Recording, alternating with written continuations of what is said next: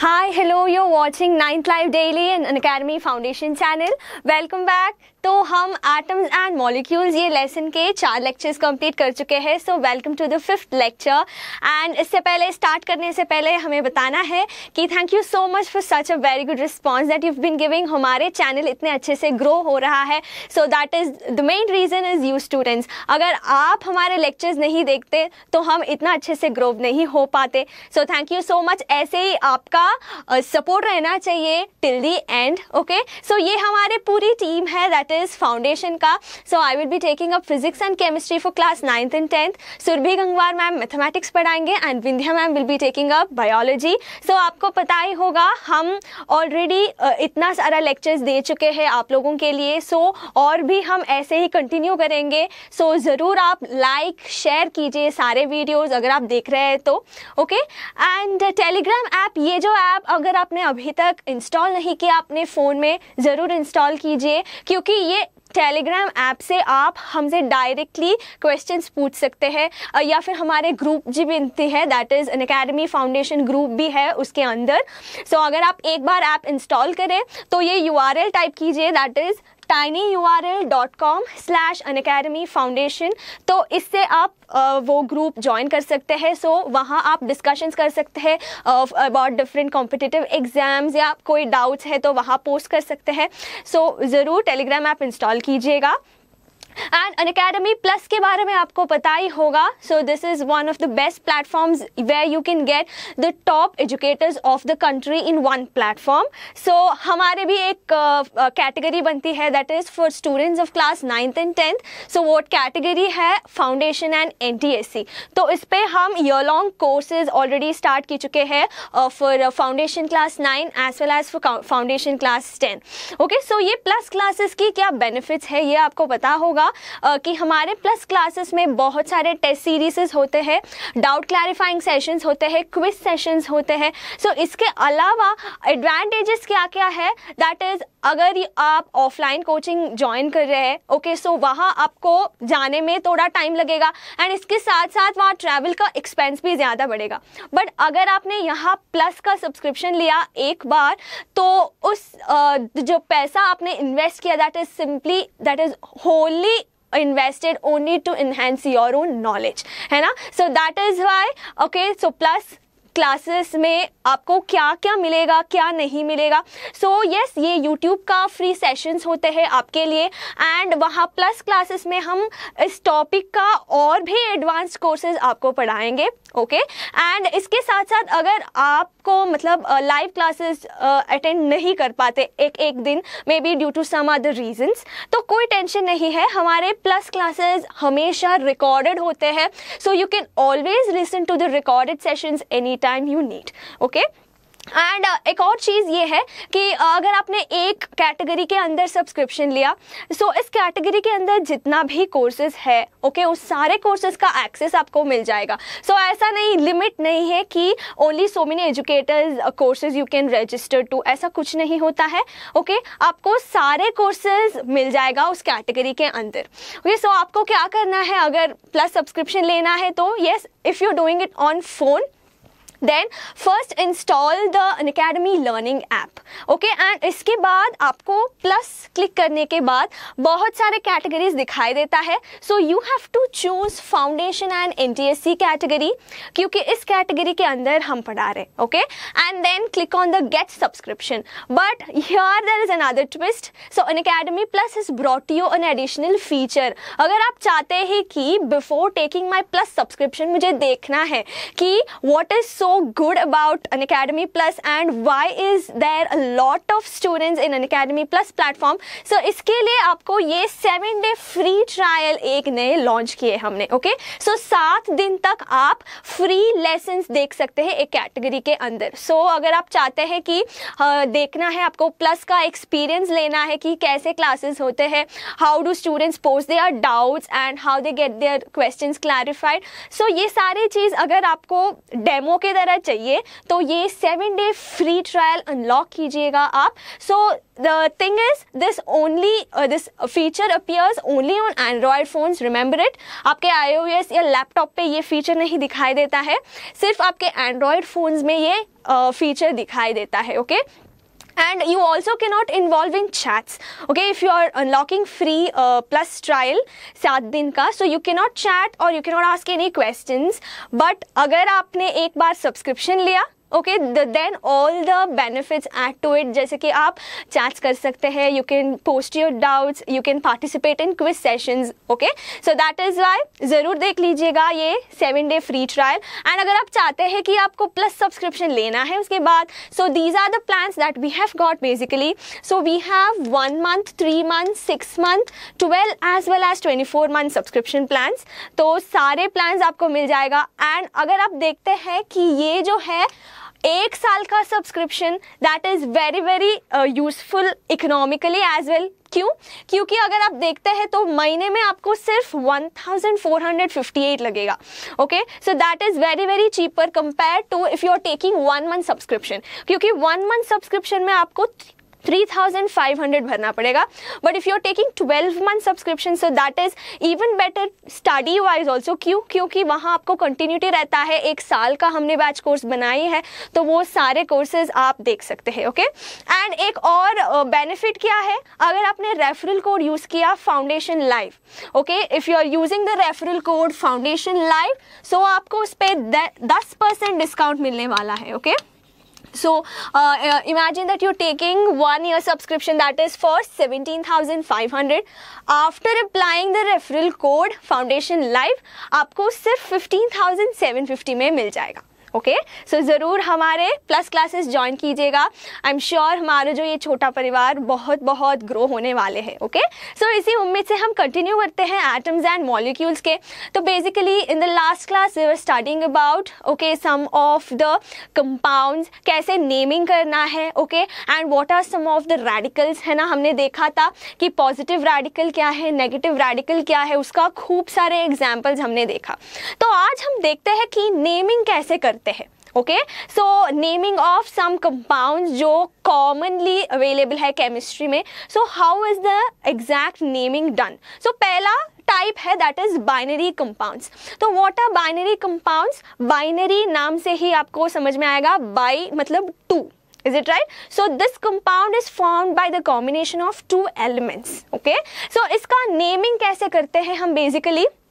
So the rule is that electropositive atom is specified first. Okay so ये electropositive atom क्या होता है metals को जनरली हम इलेक्ट्रोपॉजिटिव बोलते हैं। इज़ इट राइट क्योंकि वो लोग बहुत आसान से इलेक्ट्रॉन खोना पाते हैं। सो so, हमने ये चीज़ बोला था सोडियम क्लोराइड का जो फॉर्मेशन में मैंने आपको समझाई थी कि sodium readily loses its one electron क्यों क्योंकि it will get stable octet है ना? सो दैट इज़ वाई हम जनरली मेटल्स को इलेक्ट्रोपॉजिटिव बोलते हैं ओके सो नेमिंग में भी बाइनरी कंपाउंड्स में मेटल का नाम पहले लेना है इसके बाद आपको ओके नॉन मेटल का नाम लेना है. And you have to end it with ide okay आपको एंड करना है आई डी ई आइड से. फॉर एग्ज़ाम्पल अगर आप देखते हैं M G C L two okay so ये M G C L two में मेटल कौन सा है? मैग्नीशियम है। सो so, इसका नाम पहले लिखना है मैग्नीशियम। इसके बाद नॉन मेटल जो है वो क्लोरिन है।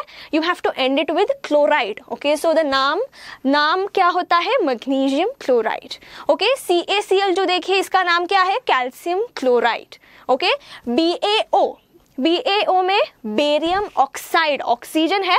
But ending I D E से होना ज़रूरी है तो that is why this is barium oxide okay इसके बाद H2S क्या होता है? H2S में H इज़ इलेक्ट्रोपॉजिटिव ओके वो मेटल नहीं है हाइड्रोजन मेटल नहीं है नॉन मेटल है। बट अगर आप दोनों को कंपेयर करते हैं हाइड्रोजन और सल्फ़र तो इस पर हाइड्रोजन इलेक्ट्रोपॉजिटिव होता है सल्फ़र इलेक्ट्रोनेगेटिव होता है। So that is why hydrogen का नाम पहले लिखना है, इसके बाद sulphide okay okay?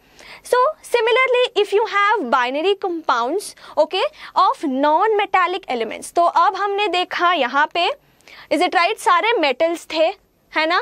सिर्फ़ इसको छोड़ के ओके अब हम देख रहे हैं okay binary compounds made of non metallic elements तो in that case what you have to do the less electronegative element is specified first followed by the more electronegative element okay so ये बहुत general uh, rule होता है।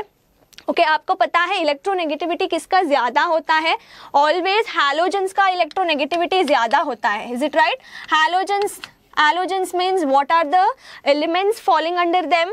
Fluorine chlorine bromine iodine is it right तो ये सारे को हम क्या बोलते हैं? हैलोजेंस बोलते हैं।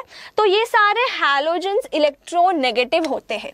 इज़ इट राइट तो ये सारे हैलोजेंस जो है ओके okay, ये इलेक्ट्रोनेगेटिव होते हैं ओके सो अब अगर आपको नॉन मेटालिक एलिमेंट से अगर कंपाउंड बनाना है तो आपको कंपेयर करना है कि which is more electronegative and which is less electronegative okay so यहाँ फ़र्स्ट एग्ज़ाम्पल देखिए सल्फ़र डाइऑक्साइड सो यहाँ SO2 में सल्फ़र और ऑक्सीजन अगर आप दोनों को कंपेयर करते हैं तो ऑक्सीजन का इलेक्ट्रोनेगेटिविटी ज़्यादा है। Okay so that is why पहले आप less electronegative that is sulphur बोलते हैं, उसके बाद you have to give the name of oxygen that is dioxide di Q? क्योंकि दो ऑक्सीजन है so sulphur dioxide next one देखिए N2O5 इस एग्ज़ाम्पल में क्या है? दो नॉन मेटल्स कौन से हैं? एक तो नाइट्रोजन है, दूसरा ऑक्सीजन है। तो इन दोनों के बीच में अगर आप देखते हैं नाइट्रोजन का इलेक्ट्रोनेगेटिविटी ऑक्सीजन से कम है। Okay so that is why nitrogen pentoxide okay and इसके बाद क्या है? Sulphur S F six so S F six में आपको पता है sulphur is less electronegative compare to fluorine है ना? So that is why sulphur hexafluoride नाम ऐसा होता है। ओके? सो अब हम जनरली ऐसे इलेक्ट्रोनेगेटिविटी लिख सकते हैं हम ओके okay? किसका ज़्यादा है एंड ओके okay, ऐसा थोड़ा सा ट्रेंड हम लिख सकते हैं ओके इलेक्ट्रोनेगेटिविटी ट्रेंड सिर्फ़ इसके लिए ओके सो एग्जैक्ट टेबल हम देखते हैं नेक्स्ट क्लास में ओके okay? सो so, अब सिर्फ़ ये देखिए इलेक्ट्रोनेगेटिविटी सबसे ज़्यादा किसको होता है फ्लूरिन का होता है रिमेंबर दैट ओके सबसे ज़्यादा इलेक्ट्रोनेगेटिविटी फ्लूरिन का होना चाहिए ओके okay? इसके बाद आपको ऑक्सीजन का होना है, फ्लूरिन के बाद ऑक्सीजन का होना है एंड इसके बाद नाइट्रोजन का होना है।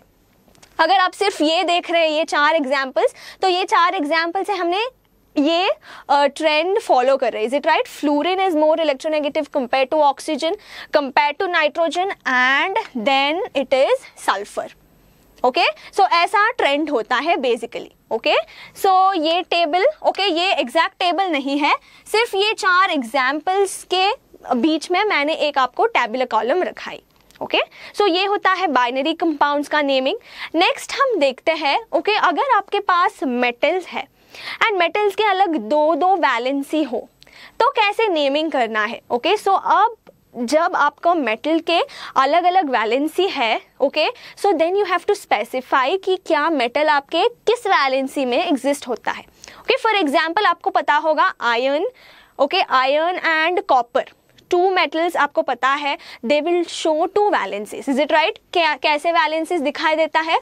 Iron will exist in two valency as well as iron three is it right similarly copper का केस में क्या है copper exist in copper one state as well as copper two state is it right so this is the common example that you have so अगर naming में भी ऐसा ही होना चाहिए सी मानिए F E O okay so F E O क्या होता है basically ferrous oxide okay remember in F E O iron will be in two state iron will be with two valency okay so that is why आप ऐसे भी लिख सकते हैं iron two oxide okay so that means it is iron is in the plus two state okay okay? So so, ये कैसे oxidation states आता है तो ये सारे चीज़ हम देखते हैं ओके सो आप ऐसे याद रखिए आप okay next F E two O three so इस पे आयन का वैलेंसी क्या होता है? थ्री होता है। So this is important okay जब भी आप एन का एम देखते हैं तो वहाँ पे ये बहुत बहुत कॉमन सा क्वेश्चन है कि इस कंपाउंड में okay what is the valency shown by the metal okay so आपको ये नाम भी याद रखना होता है ओके सो नेक्स्ट देखिए C U C L C U C L के केस में क्या है? कॉपर क्लोराइड पर कॉपर यहाँ देखिए यस वन वैलेंसी में is it right similarly C U C L two में देखिए कॉपर किस वैलेंसी में है? Copper two chloride. Is it right yes तो अब आपको ये पता है। इज़ इट राइट कैसे हमें मॉलिकुलर फॉर्मूला लिखना है ये आपको पता होगा। हमने लास्ट क्लास में किया है। इज़ इट राइट सो हम क्या अब बैक कर सकते हैं इसको?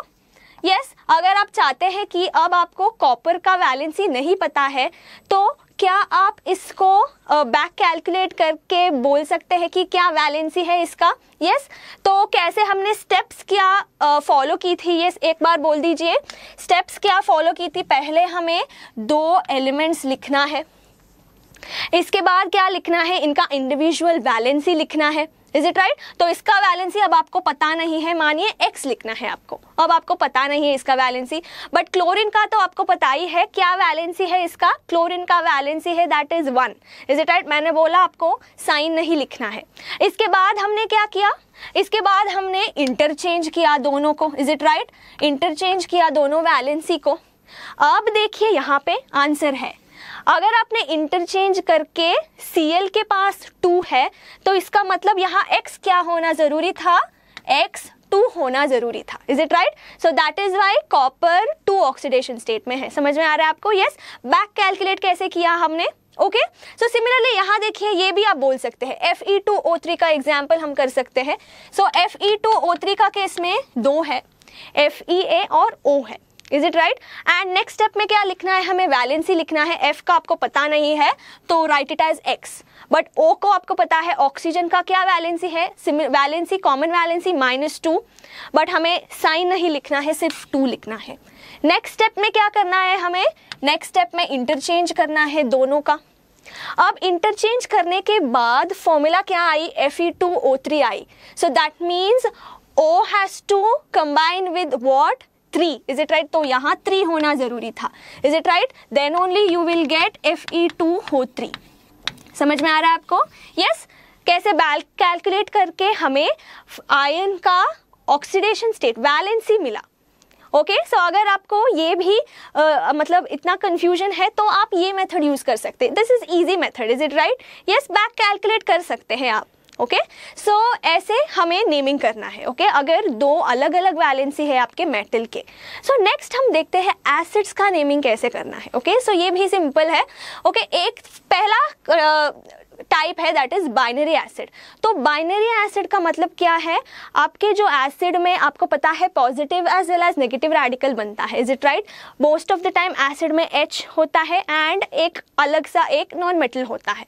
सो बाइनरी एसिड में आपका नेगेटिव रेडिकल सिर्फ़ सिंगल नॉन मेटल होता है. Okay for example okay for example H C L okay H C L में नेगेटिव रेडिकल कौन सा है? नेगेटिव रेडिकल है सी एल माइनस राइट सिर्फ़ एक नॉन मेटल है. Okay in the in these cases how do you name it as you have to end it with ic I C से and करना है ओके? मानिए अगर H C L है आपके पास तो इसका नाम क्या होगा? हाइड्रोक्लोरिक एसिड ओके क्यों? क्योंकि ये बाइनरी एसिड है. So hydrochloric acid okay similarly एक और एग्ज़ाम्पल हम देख सकते हैं H B R okay H B R के केस में भी सिर्फ़ एक नॉन मेटल है। तो इसका नेम कैसे एंड करना है? आई सी सो क्या होता है ये? हाइड्रोब्रोमिक एसिड समझ में आया आपको? Yes yes? सिंपल होते हैं ये चीज़ ओके नेक्स्ट हम देखते हैं नेक्स्ट टाइप एसिड में ये है कि oxy acid okay oxy acid का मतलब क्या है? ओके ऑक्सी एसिड में आपके पास ऑक्सीजन होता है एंड ऑक्सीजन के साथ एक नॉन मेटल होता है। ओके? ऑक्सीजन एक एक्स्ट्रा चीज़ होता है वहाँ पे सो so, इसका नाम ऑक्सी एसिड है तो इस पे दो टाइप्स है basically acids with comparatively less number of oxygen okay okay? अगर आपके ऑक्सी एसिड में ओके okay, ऑक्सीजन का नंबर कम है जैसे कि फॉर एग्जांपल अगर मैंने पास ओके okay, एग्जांपल से देखते हैं ताकि आपको तब क्लियर होगा ओके okay? मेरे पास H two S O three है ओके okay? सो so, ये क्या है बेसिकली यस यहाँ अगर आप देखते हैं ऑक्सीजन का जो number that is lesser compare to what compare to H two S O four okay आपको दो एसिड्स अब पता है इज़ इट राइट एक तो सल्फ्यूरिक एसिड पता है दूसरा sulphurous okay okay? So so, हम कैसे ओ यू एस लिखा वहाँ पे सल्फ्यूरस क्यों? क्योंकि वहाँ ऑक्सीजन का कंटेंट कम था. ओके सो कंपैरेटिवली अगर ऑक्सीजन के नंबर कम है then you have to end it with O U S समझ में आया आपको? Yes yes? एक और एग्ज़ाम्पल है okay H N O two okay H N O two और यहाँ कंपेयर कीजिए H N O three so यहाँ अगर आप ये दोनों को कंपेयर करते हैं तो इसमें ऑक्सीजन का नंबर कम है. इज़ इट राइट यहाँ तीन ऑक्सीजन है, यहाँ दो ऑक्सीजन है. तो you have to end it with ous is it right O U S so इसका नाम होता है नाइट्रस एसिड इसका नाम क्या था? सल्फ्यूरस एसिड ओके सो अब आपके समझ में आए ओ यू एस कब लिखना है, कब ऑक्सीजन का नंबर कम है तब okay now when the acids have comparatively more oxygen okay ये मोर होना चाहिए। When it has more oxygen then you have to end it with I C जैसे कि ये सल्फ्यूरिक एसिड है ओके सल्फ्यूरिक एसिड है एंड ये क्या है? नाइट्रिक एसिड है ओके okay? सो so, ये होता है general trend naming of acids कैसे करना okay so next naming of bases ये बहुत सिंपल है। बेसिस में क्या होता है? बेसिकली आपके पास एक मेटल होता है मेटल के पास ओ एच माइनस आयोन्स होता है इज़ इट राइट तो how you have to name it आपका मेटल का नाम लिखना है बाद में हाइड्रोक्साइड लिखना है आपको बस okay for example calcium C A O H twice आपके पास है तो नाम क्या होना चाहिए? Calcium hydroxide. This is sodium hydroxide simple है। एल्यूमिनियम हाइड्रोक्साइड बस। Okay so this is naming of bases okay so next हम देखते हैं नेमिंग ऑफ़ सॉल्ट्स तो सॉल्ट्स बेसिकली कैसे बनता है? आपको पता है सॉल्ट्स कैसे बनता है? एसिड और बेस ओके okay, दोनों मिला के आपको सॉल्ट बनता है। इज़ इट राइट ये एक स्टेप है। ओके okay, सॉल्ट कैसे बनता है आपको? एसिड बेस का रिएक्शन से आपको सॉल्ट बनता है। ओके सो यहाँ बेसिकली सॉल्ट के पास क्या होता है? ओके okay, एक तो मेटल होता है और दूसरा एक एसिड का एलिमेंट होता है। अगर आप देखते हैं यहाँ पे okay so calcium sulphide okay so calcium sulphide का मतलब calcium is the metal and that sulphide वो वर्ड कहाँ से आना चाहिए? That is the negative radical उसका नाम कहाँ से आता है? आपका एसिड से डिराइव होना है। Okay so I will repeat it again so आपके सॉल्ट में दो कैटेगरीज होते हैं। एक तो पॉजिटिव रेडिकल होता है, दूसरा नेगेटिव रेडिकल होता है। Is it right yes so salt के पास दो पार्ट्स है एक तो पॉजिटिव रेडिकल दूसरा नेगेटिव रेडिकल तो positive radical is a metal negative radical कहाँ से डिराइव होता है? आपके एसिड पार्ट से. Okay so that is why okay so अगर आपके acid O U S acid है ओके okay, अगर आपके एसिड जैसे कि सल्फ्यूरस एसिड नाइट्रस एसिड अगर ऐसा है तो आपका सॉल्ट कैसे एंड करना है? सॉल्ट का नाम आई टी ई से एंड करना है। जैसे कि ये देखिए calcium sulphite okay calcium sulphide का मतलब क्या है? Yes it is derived from sulphurous acid okay sulphurous acid से डिराइव हुआ है ये।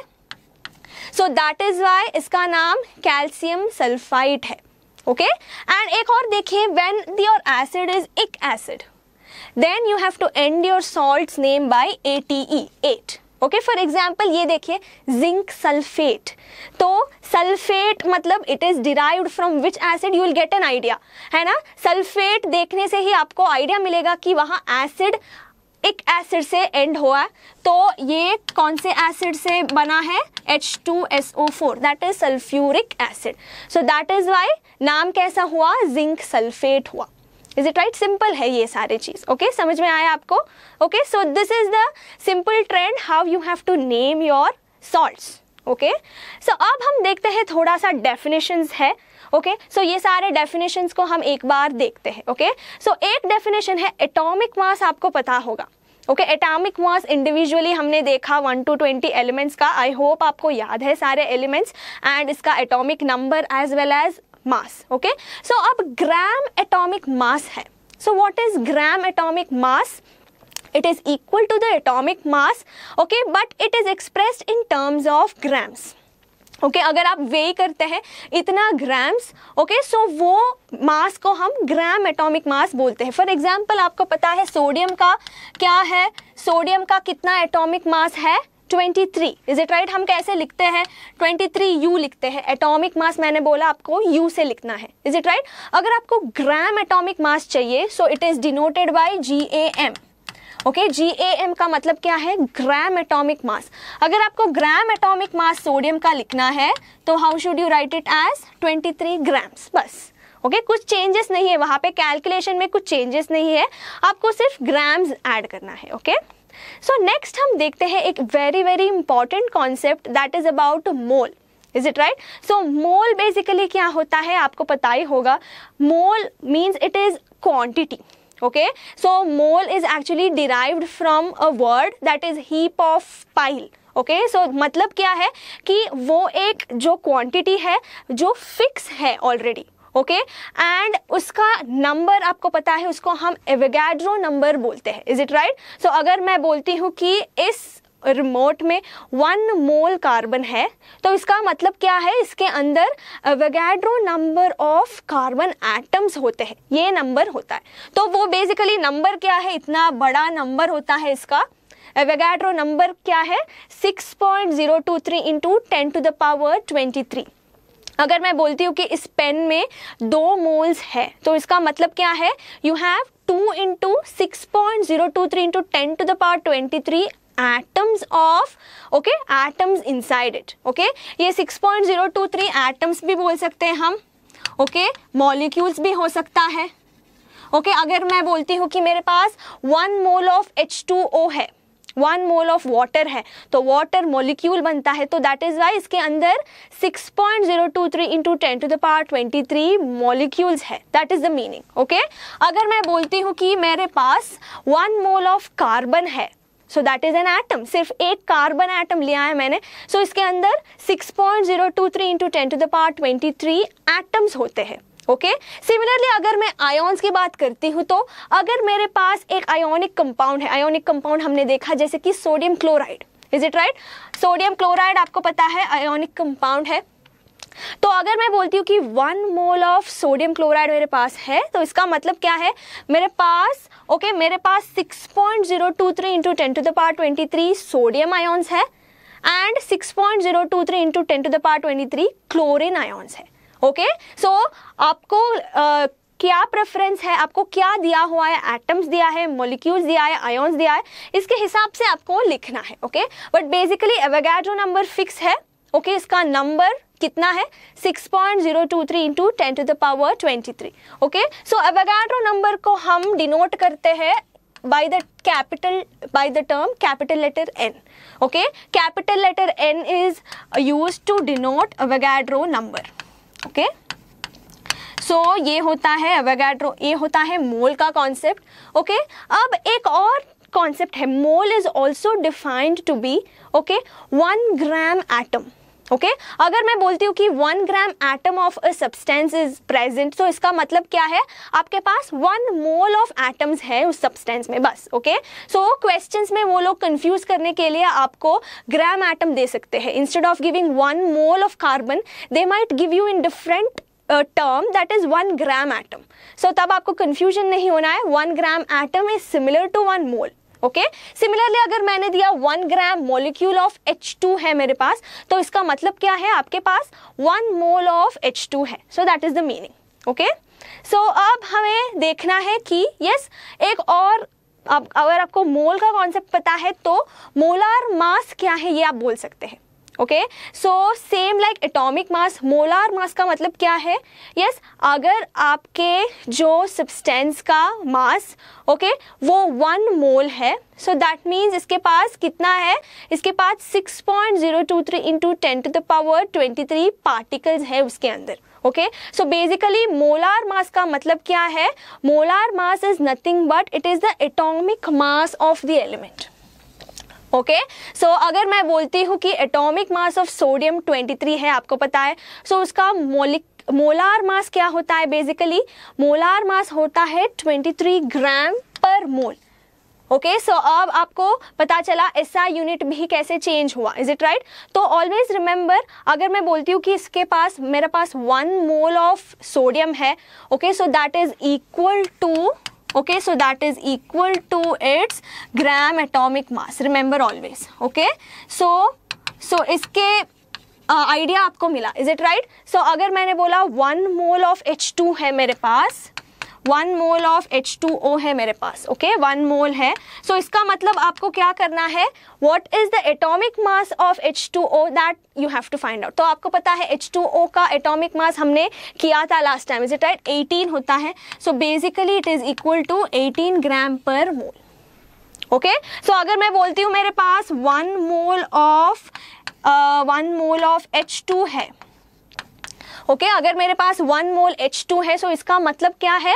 मेरे पास two grams of H two है that is the meaning okay so remember mole is equal to its gram atomic mass okay so next हम देखते हैं कि कैसे रिलेशन हमें फाइंड आउट करना है क्या अलग अलग रिलेशंस uh, होते हैं ग्राम एटॉमिक मास के बीच में क्या है एक और ग्राम एटॉमिक वॉल्यूम ये भी एक नए कॉन्सेप्ट हम लाते हैं तो उसके बाद हम क्वेश्चंस करते हैं ओके okay? सो so ये सारे चीज़ हम हमारे नेक्स्ट क्लास क्लास में करेंगे।